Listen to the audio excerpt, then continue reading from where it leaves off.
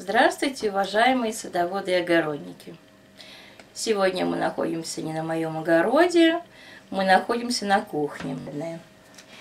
Значит, вот у нас хороший урожай в этом году персиков, винограда. И все я уже закрывала. Я уже закрывала и пюре вот с персиков. Пюре вот было у нас персики и э, дыня было пюре из э, персика и банана. Ну, это я просто оставила показать. Очень много было персиков, все надо, конечно, переработать. Но сегодня я решила показать, как мы закроем ассорти из персиков и винограда. Что мы для этого сделаем? Для этого мы, конечно же, удалим из персиков косточки, уберем плохие половинки, хорошие половинки оставим, а дальше все я вам покажу. Вот сейчас мы приготовим все это и покажу, как все это сделаем. И, итак, дорогие садоводы и огородники, вот посмотрите, что мы сделали.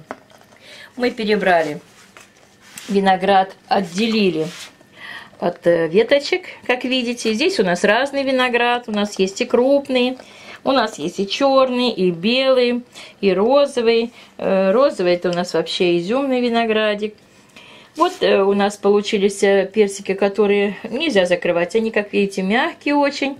И пойдут, конечно же, они в переработку ну, пюре или сделаем, или вареньем. А вот что у нас получилось из хороших персиков. Вот такие, которые можно закрыть. Сейчас мы... У нас вот готовые баночки. Баночки постерилизованные в микроволновке. Баночки постерилизованные в микроволновке. 3 э, минуты э, на большом э, этом огне. Вот, и крышечки также постерилизованы. Сейчас мы будем переслаивать. Это мы уберем, оно нам не нужно, потому что мы его сделаем позже.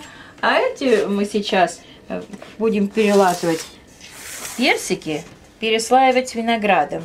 У нас получится своего рода как бы заготовка для компота. Ее можно, конечно, кушать просто так, и можно потом варить с нее компот. И, э, ну, как говорится, кому что нравится, тот и будет из нее потом делать. Но это будет очень сладкая заготовка.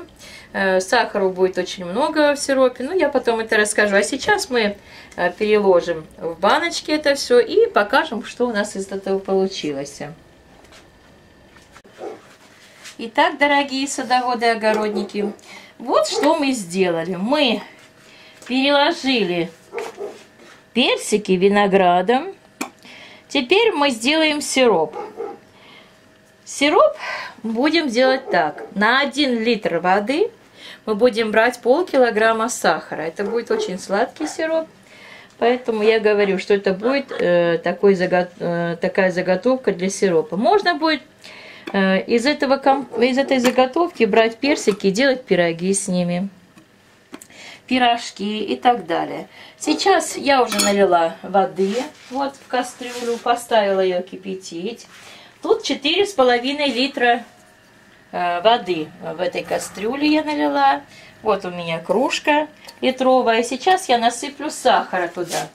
Вот на 4,5 литра воды нам нужно взять 2 килограмма 200 граммов сахара, 250. Ну, мы возьмем 2, 2 кружки и половинку. Это примерно будет так. Вот сейчас мы насыпем это в сироп.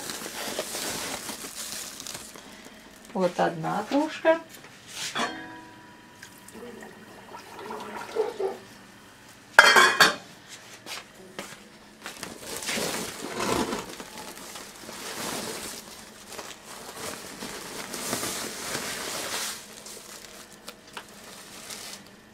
Чуть-чуть не полным, потом просто половина там надо меньше брать.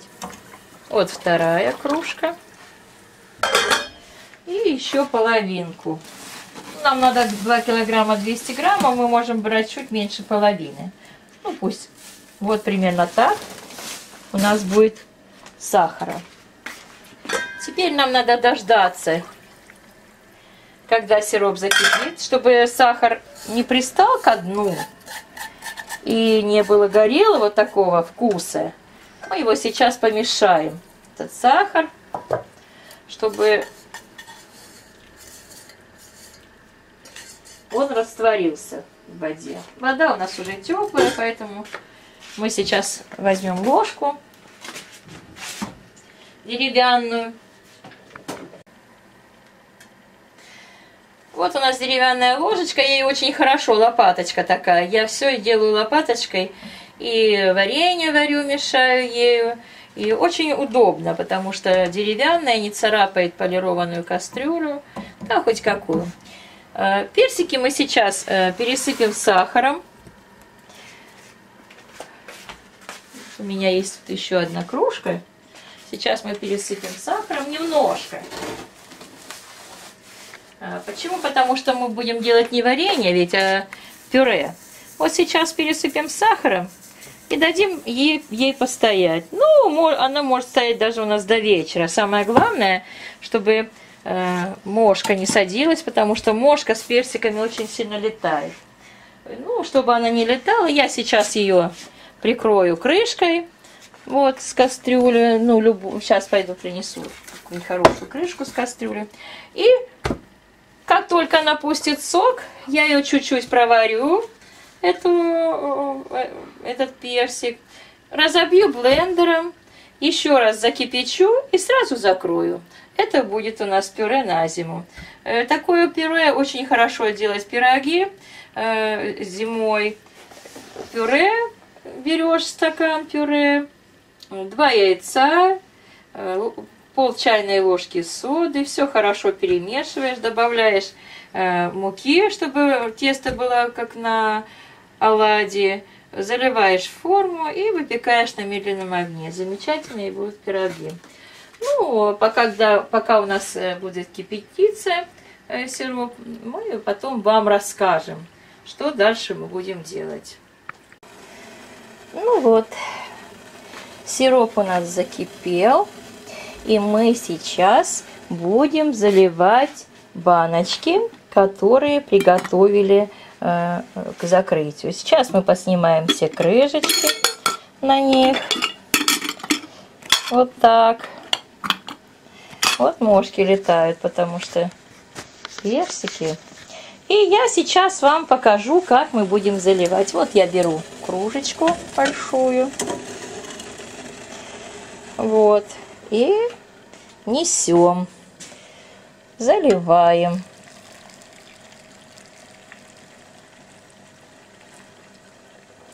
Как трехлитровую баночку помещается у нас полтора литра воды. Я это уже прекрасно знаю. Вот, смотрите. Вот сильно полно наливать не нужно. Прикрываем баночку. И так мы сейчас заполним все баночки. Нужно доливать вот примерно ну, на палец, не доливая э, сиропа. А потом я скажу, что мы будем делать дальше. Итак, что же мы делаем дальше? Дальше мы поставили вот баночки. Ну, пока что поставили вот литровые баночки и одну трехлитровую в воду, э, в кастрюлю, скажем так, на дно которой положили вот э, ткань, ну, в данном случае я положила полотенечную ткань, налили воды горячей, не кипяток, а просто горячей воды. Вот посмотрите, до каких пор налита вода, видите? не, даже не по горлышко, вот не по это, а вот насколько, вот, э, посмотрите, обратите внимание, где у меня вода. Теперь мы закроем крышкой плотно. В этой кастрюле то же самое. Мы сейчас накроем, так как крышка не подходит для этого дела, мы накроем сейчас вот этой чашкой. Вот, чтобы все-таки было Э, там парка, э, чтобы горячий воздух полностью обхватывал всю баночку. И минут через э, ну, 5 посмотрим сначала, если вода закипит, мы подождем еще 2 минуточки и все это дело выключим. Ну, потом я еще поставлю вот полтора литровую в трехлитровую вот эту высокую кастрюльку и точно так же накрою. чтобы нам ее, их прошпарить. Вот когда это дело закончится, я покажу, что будет дальше. Итак, вот в этой кастрюльке вода уже кипит потихоньку. Мы еще подождем 5 минут и вытащим баночку. В этой кастрюльке пока еще не кипит вода, поэтому надо будет подождать. А это вот еще 5 минут и можно вытаскивать банку. Итак, 5 минут прошло. Я снимаю крышку эту кастрюль. Кастрюлька, она горячая. Поэтому надо быть очень осторожным. Выключаю. И сейчас вот этими щипчиками у меня специальная есть. Вот так вытащу баночку. Я сейчас пока выключу камеру, чтобы не обжечься. И вам покажу. Вот я баночку закрутила. Полотенчиком вот проверила хорошенько. И чтобы она нигде не лилась, посмотрите, поверните ее туда-сюда, потому что крышечки такие не, не, не закаточной машинкой, а закручивающиеся крышечки. Вот, посмотрите, что у нас получилось. Вот какая красота. Теперь в эту кастрюлю, где стояла трехлитровая эта банка, нельзя сразу ставить э, баночки. Почему? Потому что очень горячая вода, поэтому мы сейчас отольем кружку воды отсюда.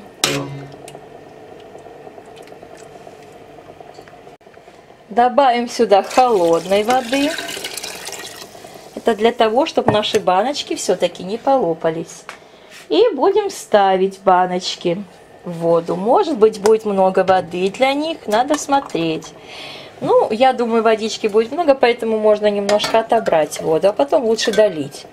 Ну вот, прям отбираем кружку эту же водички. Ставим другую баночку.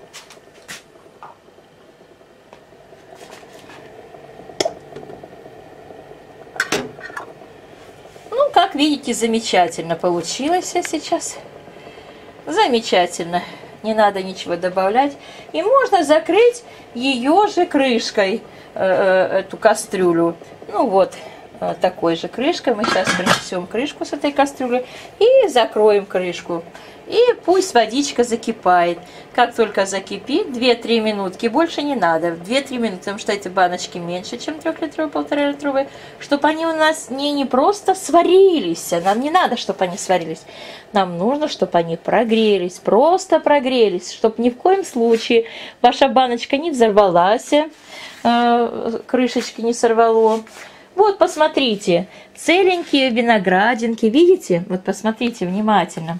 Виноградинки целенькие, персички целенькие, нигде никакая кожура не отошла, ни, ничего не это. Даже цвет, как видите, есть розовый персика и все. И у вас будет очень красивое ассорти. Сейчас посмотрим, что же у нас в той кастрюльке закипело или нет. Ну вот начинает закипать, но еще не кипит. Нам нужно накрыть вот эту кастрюлю. Сейчас мы накроем. Так, здесь тоже уже э, на слабеньком огне вот кипит это все дело. Ну, я думаю, хватит, потому что маленькие баночки, я боюсь, чтобы они не переварились. Сейчас я их вытащу и тоже закрою. Так, баночки я вытащила эти литровые, закрыла их, закрутила хорошо. Уважаемые садоводы, я э, что хочу сказать. Когда вы стерилизуете и вытаскиваете с кастрюли баночки, старайтесь, чтобы крышечки у вас не приподнимались и не попадал туда больше воздух. Вот вы вытащили и сразу закрываете. Так, в этой кастрюле уже тоже кипит э, водичка, уже на 3 минуты покипела, и я буду выключать и закрывать. Вот, дорогие садоводы-огородники, сегодня мы, я вернее, вам показала, как я сделала фруктово-ягодное ассорти. Это ассорти выращено в моем огороде, моими собственными руками. И как видите, оно очень красиво и аппетитно. И я советую вам выращивайте персики. Я выращивала их из косточек сама, и у меня выросло 14 деревьев, которые мне теперь дают прекрасный урожай. Виноград я тоже выращиваю сама, и я очень рада, что мой сад и огород дают мне превосходные урожаи, которые радуют меня в течение всего года. На этом я свой репортаж заканчиваю. Заходите ко мне на канал, ставьте лайки, подписывайтесь. До новых встреч. До свидания.